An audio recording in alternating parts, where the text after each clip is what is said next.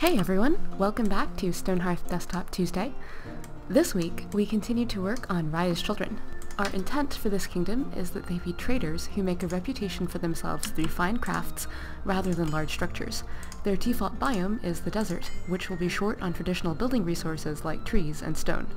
As a result, when Rayya's Children does want to build structures for shelter, they have to get creative. For them, we've added the ability to mine clay out of dirt.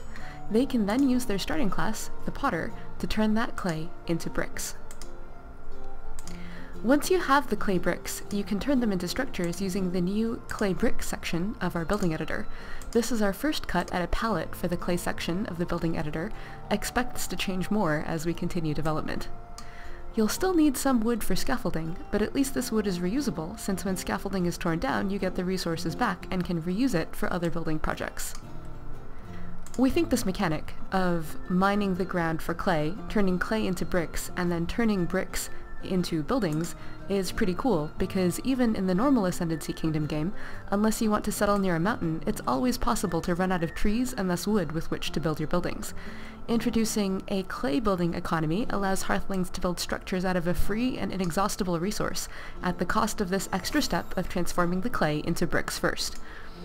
We still need to play with this mechanic a bit to make sure it feels good, but we look forward to having this different route for building, and we hope that it will be a distinguishing factor for Rayya's children in the early game.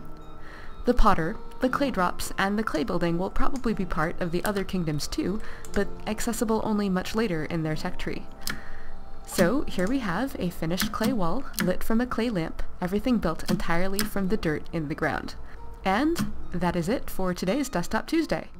Thank you to everyone for joining us this week. If you're playing the game right now, we hope you've enjoyed last week's stable release of Alpha 12 with the improved crafters and the many, many, many performance bug fixes.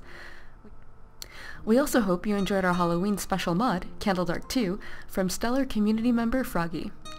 As usual, you can find these and all of our updates on our dev blog at stonehearth.net, where you can also leave us comments or questions. We always love hearing from you, and I look forward to seeing you next week.